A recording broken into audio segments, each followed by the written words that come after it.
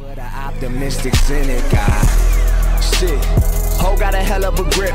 It's never a problem till niggas is ballin' and bitches they all. Hey guys, it's Fantox, and this is my seventh time trying to record a story because I keep using the real names and I'm not trying to use the real names. Oh, I'm tired, guys. But, as you guys can tell, I have an overlay. It's beautiful. Took me time to put it together. Alright? Took me so much time to put it together. Now, this is the story about the first time I smoked weed and drank beer. Now, it was just a normal day for, for me till I uh, called up my friend, I'm just gonna say Annabelle. Yeah, I'm gonna use Annabelle for this one. And she was, I, I went ahead and I was like, yo, Annabelle, what's up?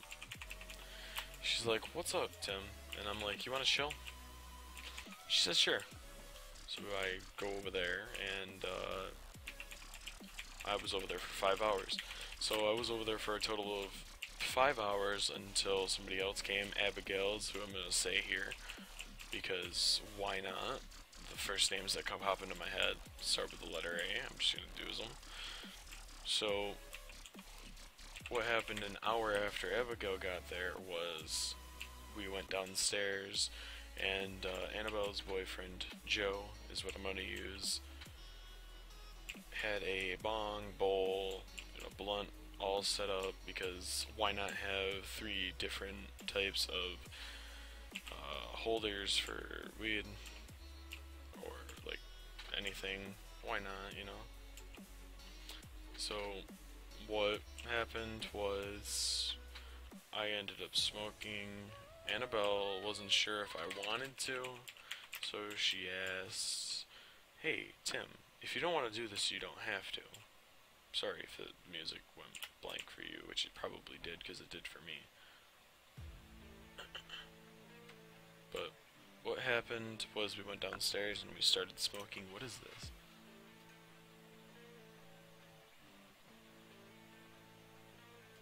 I'm gonna change up music. Alright. what happens was we went downstairs and I was smoking weed. My friend Annabelle went ahead and whipped out beer.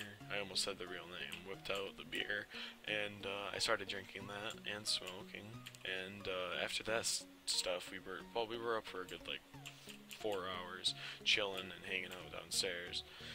And what happened after that is I went upstairs and went to sleep. I woke up in the morning, didn't realize anything wrong. I went downstairs to see what was up, to see if I, how many beers I drank, and I turned around.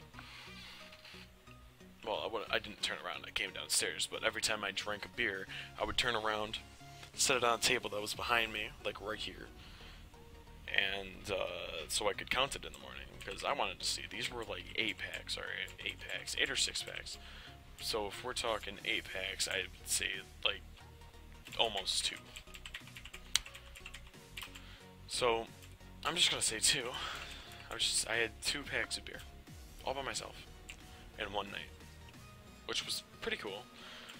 Uh, for my first time, it was it was pretty pretty pretty pretty pretty pretty pretty pretty pretty pretty pretty pretty good, you know. I I completely started the first three times and then I just over exaggerated, but I went back upstairs, and Annabelle came downstairs because it was Annabelle's house.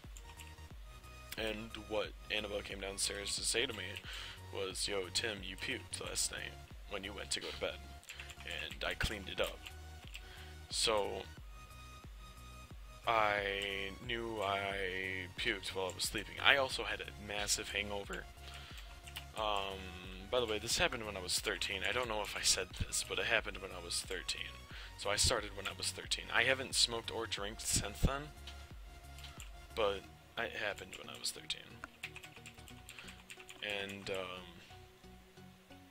I mean, I gotta say, best night of my life. Also, in the morning, I smoked again. Until my mom came. My mom came, and she picked me up. I was almost caught by her. But my mom came, picked me up, took us home. She she thought I was just tired because she didn't think I slept at all last night. Well, that night. So I just went home and I went back to bed. But like a day after, I explained to her mom, I smoked and I drank beer. And uh, she didn't do anything. She just said, just make sure you tell me next time. Oh, my nose is mad itchy. She just made said, make sure you tell me next time because I want to be sure that you're gonna do this because it's my choice if you do. So that's what happened the day after, and uh, yeah, like I said, it I never did it again after that, other than five more times, and uh, I haven't done it in a long time. So a good maybe you're gonna have. I haven't done this, done it in a long, that much time, so I've been away from it for a while.